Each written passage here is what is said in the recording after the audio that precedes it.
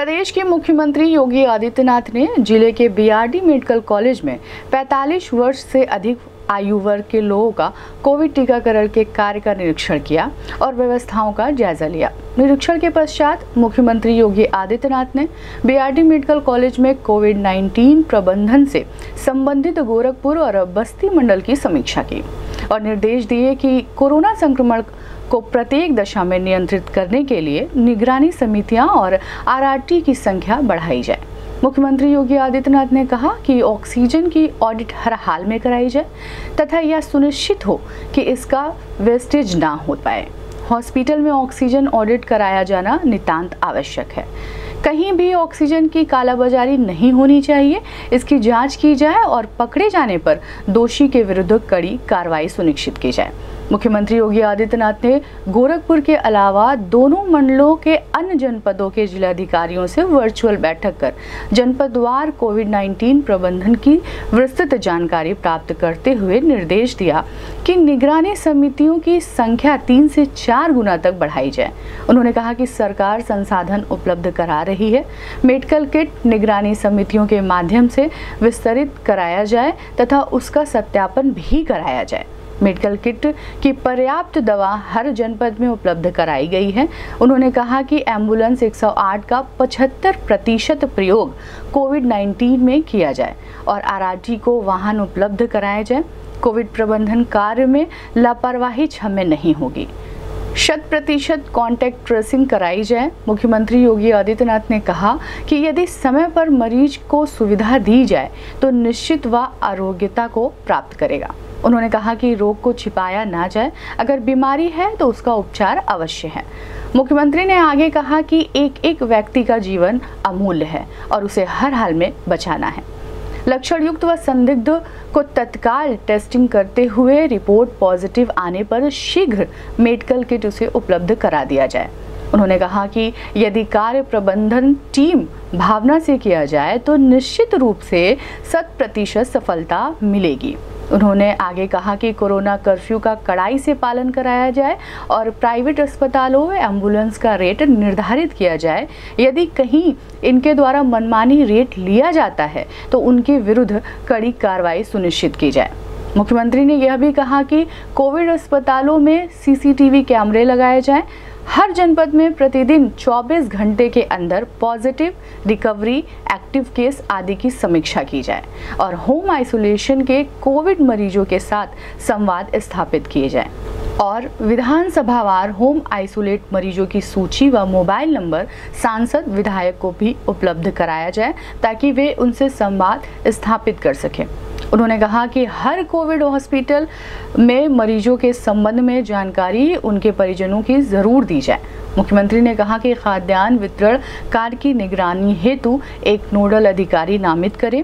गेहूँ क्रय केंद्रों को सोशल डिस्टेंसिंग कोविड प्रोटोकॉल के तहत के साथ संचालित किया जाए तथा गो आश्रय स्थल पर चारे आदि की व्यवस्था हो। मुख्यमंत्री ने स्वच्छता, सैनिटाइजेशन एवं फॉगिंग कार्य को एक अभियान के रूप में संचालित करने तथा इस कार्य हेतु नोडल अधिकारी नामित करने के निर्देश देते हुए कहा कि यह अभियान कोविड के साथ ही बरसात में इंसेफ्लाइटिस से बचाव में भी सहायक सिद्ध होगा। उन्होंने कहा कि कंटेनमेंट जोन में सख्ती की जाए। केवल मेडिकल स्वच्छता, sanitization, fogging, door step delivery की अनुमति होगी। मुख्यमंत्री ने कहा कि सावधानी व सतर्कता कोविड से बचाव का सर्वोत्तम उपाय है। बेड की संख्या बढ़ाने तथा शासन के नियमों का पूर्णता अनुपालन करने और पीकू को क्रियाशील रखने के निर्देश दिए। मुख्यमंत्री ने कहा कि शासन स्तर पर ऑक्सीजन की उपलब्धता, रेमडेसिविर इंजेक्शन, होम आइसोलेशन, स्वच्छता, सैनिटाइजेशन, फॉगिंग आदि कार्यों की व्यवस्था, निगरानी संबंधी समितियाँ गठित की गई हैं। इसी प्रकार जनपद स्तर पर भी समिति गठित कर उनके दायित्व निर्धारित किए जाएँ। मुख्यमंत्री ने बताया कि 30 अप्रैल तक प्रदेश में तीन लाख दस हज़ार एक्टिव केस थे और आज 10 मई को दो लाख पच्चीस हज़ार एक्टिव केस हैं। अर्थात पचासी हज़ार एक्टिव केस कम हुआ है। इस बारे में मंडलायुक्त जयंत नलिकल ने गोरखपुर मंडल में कोविड प्रबंधन के संबंध में विस्तृत जानकारी दी। इस अवसर पर जिला अधिकारी के विजेंद्र पांड्यान ने बताया कि जनपद में पॉजिटिव रेट आराची निगरानी समितियाँ, होम आइसोलेशन, आईसीसी में टेलीफोन संख्या, एंबुलेंस आदि बढ़ा दी गई है। मरीजों को बेहतर सुविधा मुहैया कराई जा रही है। इस संबंध में गोरखपुर न्यूज़ से बात करते हुए मुख्यमंत्री योगी आदित्यनाथ ने कहा। कोई भी आदमी, पब्लिक आदमी इधर नहीं आएगा। जो भी आएँगे मतलब उधर जो इलाज होंगे।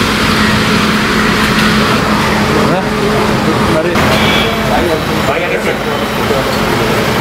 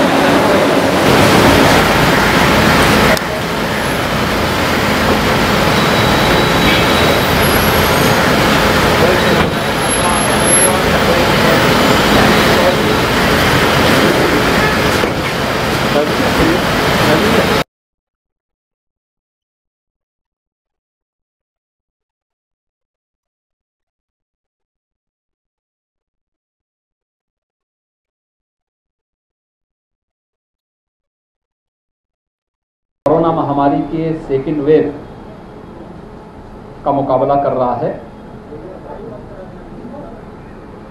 आदरणीय प्रधानमंत्री जी के मार्गदर्शन में पूरे देश के अंदर कोरोना के खिलाफ बड़ी मजबूती के साथ एक अभियान चल रहा है। और उसके अपेक्षित परिणाम भी प्राप्त हो रहे हैं। उत्तर प्रदेश जो देश की आबादी की दृष्टि सबसे बड़ा प्रदेश है, उत्तर प्रदेश कोरोना की सेकेंड वेव के खिलाफ मजबूती के साथ लड़ रहा है।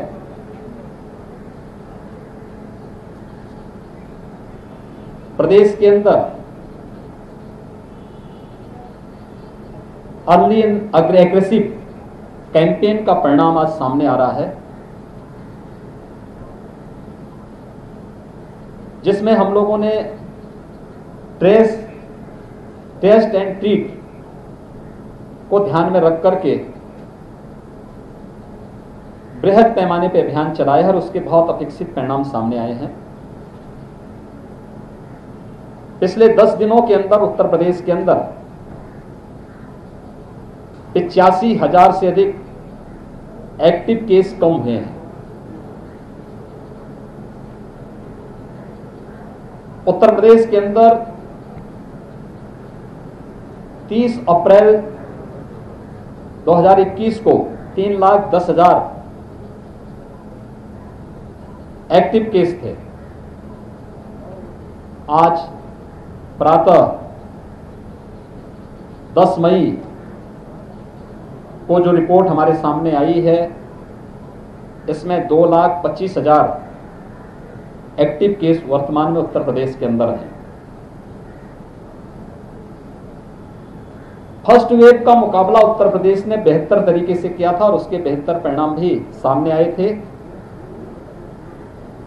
सेकेंड वेव में भी उत्तर प्रदेश उसी प्रबंधन के साथ काम कर रही है। आप याद करिए, जब पिछली बार मैं यहाँ पर super speciality super speciality block को कोविड हॉस्पिटल के रूप में, डेडिकेटेड कोविड हॉस्पिटल के रूप में उद्घाटन करने के लिए आया था। उस समय बहुत सारे लोग ये कहते थे कि साहब, इतने पेशेंट नहीं, इतने बेड का ये हॉस्पिटल बनाने की आवश्यकता क्या? है ये 500 बेड का डेडिकेटेड कोविड हॉस्पिटल हम लोगों ने उस समय यहाँ पर बनाया था। और बीच में तो ये भी बात आने लगे कि साहब इसको बंद कर देना चाहिए। तो हम लोगों ने कहा, नहीं, बंद नहीं करना है। देश के अंदर अन्य राज्यों में और दुनिया के तमाम अन्य देशों में जो स्थिति है, उसको देखते हुए हमें इसको आगे बढ़ाना होगा। आपने देखा होगा, गोरखपुर और पूर्वी उत्तर प्रदेश के हज़ारों लोगों के जीवन को बचाने में इस डेडिकेटेड कोविड हॉस्पिटल ने हमारे यहाँ के चिकित्सकों ने, हेल्थ वर्कर्स ने बहुत बड़ी भूमिका का निर्वहन किया। ऐसे ही प्रदेश के अंदर अलग अलग जनपदों में भी स्थिति है। इसको लेकर के बहुत उसके साथ वे कार्यक्रम हम लोग आगे बढ़ा रहे हैं। आशंका थी, देश और दुनिया के तमाम एक्सपर्ट इस बात को कहते थे कि उत्तर प्रदेश में पाँच से दस मई के बीच में एक लाख केस पर डे आएँगे। लेकिन ट्रेस, टेस्ट एंड ट्रीट के जिस एग्रेसिव अभियान को लेकर के हम लोग चले, उस अभियान का परिणाम है कि आज प्रदेश के अंदर इक्कीस हज़ार पॉजिटिव केस आए हैं। कल तेईस हज़ार थे। ये लगातार इसमें गिरावट है। एक डिक्लाइन ट्रेंड की तरफ़ जा रहा है। यानी हमारा जो कोरोना के खिलाफ रणनीति है, वह सफलता के साथ आगे बढ़ रही है और इसीलिए हम लोगों ने प्रदेश के अंदर कोरोना कर्फ्यू के साथ निगरानी समितियों और आरआरटी को एक विशेष अभियान के साथ जोड़ा है। हर ग्राम पंचायत में एक निगरानी समिति निगरानी समिति स्क्रीनिंग का काम करे। जिन लोगों को जो लक्षण युक्त हैं या संदिग्ध हैं, उनको वहाँ पे मेडिकल किट उपलब्ध करवाएँ। और आरआरटी को तत्काल सूचना दें आरआरटी जाकर के उनका एंटीजन टेस्ट कर लें। एंटीजन टेस्ट के साथ ही वहाँ पर व्यवस्था देख लेना कि अगर उस परिवार के पास उस व्यक्ति के पास अपने घर में होम आइसोलेशन की सुविधा है। तो उसे होम आइसोलेट करने, जिसमें सेपरेट रूम सेपरेट टॉयलेट है तो होम आइसोलेट की व्यवस्था वहाँ पर करना। नहीं तो गाँव में ही एक क्वारंटीन सेंटर बना करके उन्हें गाँव में निगरानी समिति की देखरेख में उनकी वहाँ पर रहने, खाने की सारी सुविधा देना डॉक्टर का ऑब्जर्वेशन हो, इन चीज़ों को लेकर के निरंतर एक अभियान चल रहा है। और इस अभियान में जितनी जल्दी हम हर पेशेंट को दवा उपलब्ध करवा लें उतना ही मृत्यु दर कम होगा। और यह अभियान इसी रूप में प्रदेश के अंदर हम लोगों ने प्रारंभ किया है। एक सप्ताह तक यह अभियान चलेगा। दूसरा जो आशंका व्यक्त की गई है, यानी इसके लिए तो टेस्ट की व्यवस्था, आज उत्तर प्रदेश देश के अंदर सर्वाधिक टेस्ट करने वाला प्रदेश है। प्रतिदिन सवा दो लाख से लेकर के ढाई लाख तक के टेस्ट प्रदेश के अंदर हो रहे हैं। जहाँ पे पॉजिटिविटी ज़्यादा है, वहाँ पे टेस्ट बढ़ाने के लिए उन जनपदों से लगातार कहा जा रहा है। फ़र्स्ट वेव जब आई थी तो फ़र्स्ट वेव में हमारे पास जो सबसे अधिक केस आए थे, वो आए थे अड़सठ हज़ार। एक्टिव केस अड़सठ हज़ार तक। और एक दिन में केस आने की संख्या थी, वह थी सात हज़ार पाँच सौ। लेकिन सेकेंड वेव कितनी तीव्र है आप इसी से अनुमान कर सकते हैं कि हमारे पास एक दिन में जो केस, सब, सर्वाधिक केस आए थे 24 अप्रैल को आए थे, वो केस थे अड़तीस हज़ार पचपन। और 30 अप्रैल तक पहुँचते पहुँचते एक पीक पर था, तब हमारे पास एक्टिव केस थे प्रदेश में तीन लाख दस हज़ार। यानी कई गुना सड़सठ हज़ार की अड़सठ हज़ार की तुलना में अगर आप देखेंगे तो ये कई गुना ज़्यादा है। ऐसे ही सात हज़ार की तुलना में आप अड़तीस हज़ार को देखेंगे तो ये पाँच गुना से, यानी पाँच गुना से ज़्यादा आ जाता है। ये जो स्पीड है, इसी में इतने ही तेज़ी के साथ ऑक्सीजन की आपूर्ति की भी मांग हुई। हम आभारी हैं आदरणीय प्रधानमंत्री जी के, भारत सरकार के, कि पहली बार देश के अंदर ऑक्सीजन के लिए वायु सेवा वायुसेना के विमानों का उपयोग किया गया। ऑक्सीजन एक्सप्रेस चली है। हम राज्य के अंदर, जब प्रदेश के अंदर कोविड की फ़र्स्ट वेव थी, तब हमारी ऑक्सीजन की आपूर्ति प्रदेश के अंदर, उसमें राज्य सरकार को कुछ भी नहीं करना होता था। मेडिकल कॉलेज का ऑक्सीजन प्लांट के साथ अपने एग्रीमेंट होते थे उस एग्रीमेंट के अनुसार ऑक्सीजन मिलता था। या फिर जंबो सिलेंडर से या उन्होंने एयर सेपरेटर यूनिट लगाए थे, उसके माध्यम से उनका काम चलता था। लेकिन अचानक ऑक्सीजन की डिमांड प्रारंभ हुई। फ़र्स्ट वेव में 300 साढ़े तीन सौ मीट्रिक टन ऑक्सीजन की खपत उत्तर प्रदेश में थी।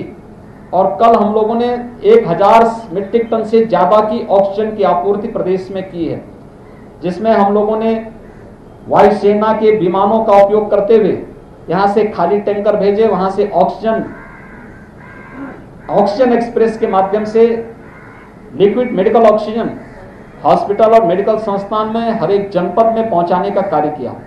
यहाँ पर गोरखपुर में भी गोरखपुर और बस्ती कमिश्नरी के लिए लिक्विड मेडिकल ऑक्सीजन की आपूर्ति टैंकर के माध्यम से भी और ऑक्सीजन एक्सप्रेस के माध्यम से भी यहाँ पर आपूर्ति करने की व्यवस्था की गई है। गोरखपुर में चूँकि यह पूर्वी उत्तर प्रदेश का स्वास्थ्य सेवा का एक प्रमुख केंद्र है, उत्तर और दक्षिण, उत्तर और पश्चिम बिहार की भी एक बड़ी आबादी गोरखपुर में स्वास्थ्य सुविधाओं के लिए आती है, उसको ध्यान में रखते हुए, अब तक यहाँ पे जितने बेड्स थे, उनको और सुविधायुक्त बनाने के लिए बिहारी मेडिकल कॉलेज में भी, ऑक्सीजन की आपूर्ति बढ़ाने के साथ ही यहाँ पे बेड्स की संख्या बढ़ाने के लिए वेंटिलेटर उपलब्ध कराए गए हैं।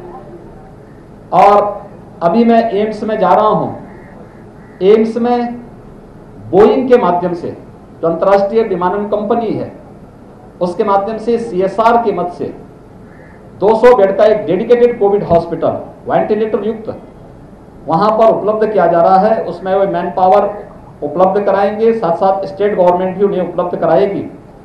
ऑक्सीजन की आपूर्ति स्टेट गवर्नमेंट उनको वहाँ पर उपलब्ध कराएगी। फायर सेफ्टी इलेक्ट्रिक सेफ्टी और सिक्योरिटी की व्यवस्था स्टेट गवर्नमेंट उसमें करवाएगी। इन सभी कार्यों के साथ इन कार्यक्रमों को हम आगे बढ़ा रहे हैं। कोरोना महामारी के खिलाफ जो हमारा सबसे बड़ा अस्त्र है वह है प्रदेश के अंदर कोरोना महामारी और देश के अंदर, दुनिया के अंदर भी वह सुरक्षा कवच हमें वैक्सीन दे सकता है। देश के वैज्ञानिकों का हम अभिनंदन करते हैं कि उन्होंने प्रधानमंत्री जी के मार्गदर्शन में दो स्वदेशी वैक्सीन देश को दी हैं। और वैक्सीनेशन का कार्यक्रम सफलतापूर्वक चल रहा है। उत्तर प्रदेश के अंदर अब तक वैक्सीनेशन में एक करोड़ चालीस लाख के आसपास लोगों को हम लोग वैक्सीन दे चुके हैं, जिसमें एक करोड़ अड़तीस लाख से ज़्यादा 45 प्लस से जुड़े हुए लोग हैं। और एक लाख से ज़्यादा हम लोगों ने अब तक 18 प्लस लोगों को 18 से 44 के बीच के लोगों को भी वैक्सीन दिया है। आज से हम लोगों ने प्रदेश के अंदर वैक्सीन के कार्यक्रम को और ते, तेज़ी की है। 4000 से अधिक सेंटर में हमारे 45 प्लस से जुड़े हुए लोगों को वैक्सीन दिया जा रहा है। 18 प्लस के लिए 18 से 44 के बीच की आयु वर्ग के लोगों के लिए आज 11 जनपद के 200 से अधिक केंद्रों में वैक्सीन उपलब्ध करवाने की कार्रवाई प्रारंभ हुई है।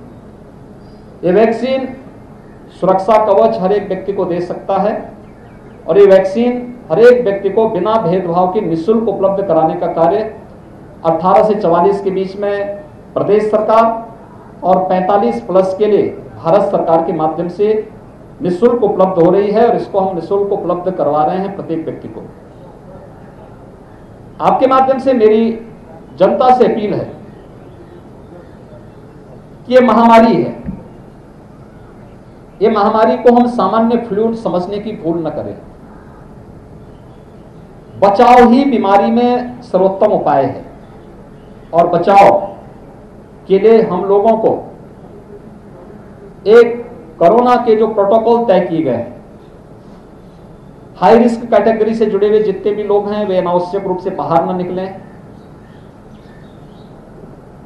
वे घर में रहें, घर में भी मास्क का इस्तेमाल करें जिसमें साठ साल से ऊपर के लोग, दस वर्ष से कम के बच्चे, गर्भवती महिलाएँ, कम इम्यूनिटी इम्यूनिटी के लोग, एक या एक से अधिक बीमारियों से ग्रसित लोग वे सभी लोग इसमें पूरी सतर्कता बरतें। एक एक व्यक्ति का जीवन कीमती है। किसी भी स्तर पर लापरवाही ना हो। दूसरा, अगर किसी को बाहर निकलना ही है जो सामान्य लोग हैं तो वे लोग भी मास्क का इस्तेमाल ज़रूर करें। कोई चीज़ का लेन देन कर रहे हैं ग्लव्स ज़रूर पहने। इसके अलावा अनावश्यक भीड़ न लगाए। दो गज की दूरी का पालन करें। अगर इन सभी नियमों का पालन करते हुए हर व्यक्ति शासन के द्वारा निर्धारित नियमों के साथ जुड़ता है तो न केवल स्वयं को सुरक्षा प्रदान करता है, बल्कि समाज को भी वह सुरक्षा प्रदान करने में अपना अमूल्य योगदान दे रहा है। और मेरी अपील होगी कि यह समय लापरवाही का कतई नहीं है, किसी भी स्तर पर नहीं है। आज मैं इसीलिए गोरखपुर और बस्ती कमिश्नरी की समीक्षा बैठक के माध्यम से मैंने यहाँ पर प्रशासन को भी जो आवश्यक कार्रवाई की जानी चाहिए अलग अलग स्तर पर कुछ जगहों पर अच्छा काम हुआ है, कुछ जगहों पर अभी और बेहतर करने की गुंजाइश है, उसको और बेहतर करने के लिए उन्हें कहा गया है। साथ साथ जनप्रतिनिधियों का सहयोग किस किस स्तर पर हम बचाव के साथ कर सकते हैं, इस पर भी एक विस्तृत चर्चा यहाँ पर हुई है। अभी मैं एम्स में जा रहा हूँ, जहाँ पर हमें 200 बेड का एक डेडिकेटेड कोविड हॉस्पिटल, वेंटिलेटर युक्त हॉस्पिटल की निर्माण की कार्यवाही वहाँ पर प्रारंभ होनी है। और बहुत शीघ्र ही गोरखपुर को एक नई चीज़ यहाँ के लोगों को उपलब्ध होगी। मैं आप सबको एक, आप सबसे अपील करूँगा कि जागरूकता के इस अभियान में हेल्थ वर्कर्स कोरोना वॉरियर्स और वे सभी स्वयंसेवी संगठन जो इस अभियान के साथ जुड़ करके लोगों के जीवन को बचाने में अपना योगदान दे रहे हैं, उन सब के मनोबल को हम बढ़ाने में अपना योगदान दें। धन्यवाद।